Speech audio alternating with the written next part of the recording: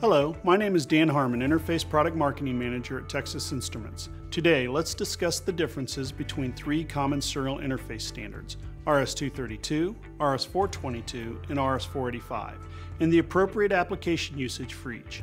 Understanding the difference between single-ended or unbalanced and differential or balanced transmissions is essential to help us understand how these three standards differ.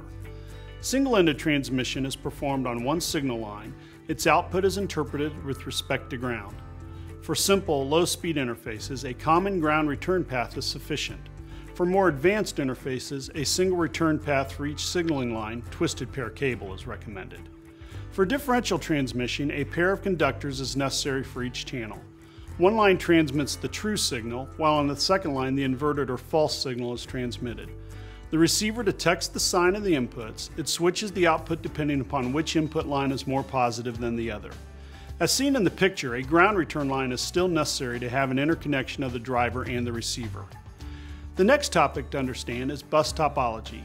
Point-to-point -point interfaces consist of just one driver and one receiver as shown in the diagram on the top left. A multi-drop bus, as seen in the lower left diagram, consists of one driver with multiple receivers connected. A multi-point bus, as shown on the right, consists of multiple drivers and receivers, or transceivers. As signals sourced in the center of the bus will travel in either direction, termination at both ends of the line is essential, and drivers must be capable to drive twice the load. RS-232 transmission is an example of single-ended point-to-point bus topology. A logic 0 is represented by a driven voltage of between 5 volts and 15 volts, and a logic 1 of between minus 5 and minus 15 volts. At the receiving end, a voltage of between plus 3 and plus 15 volts represents a 0, and a voltage between minus 3 and minus 15 volts represents a 1. Voltages between the plus and minus 3 volt range are undefined and lie in the transition region. RS422 is an example of a differential multi-drop interface. It allows for up to 10 receivers to be connected to one driver. The limiting parameter for the number of the receivers is the input impedance of the circuit. The total load of 10 receivers plus the impedance of the mandatory termination resistor is the maximum load presented to the driver. RS485 defines a differential multi-point interface. Due to the higher input impedance of the receiver's transceivers in this standard, up to 32 unit loads can be connected to the interface. One unit load equals an input impedance of 12 kiloohms.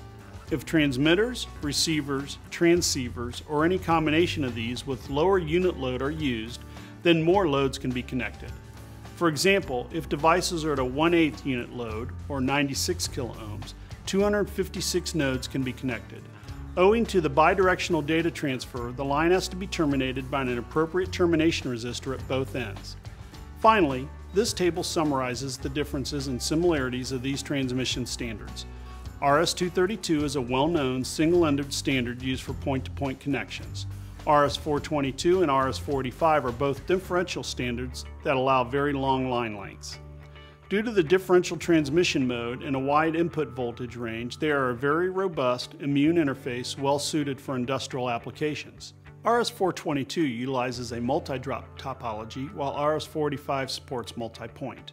For RS-485, the maximum number of connections is limited by the unit load, representing the input impedance. Please visit www.ti.com interface for more information. Thank you for your time.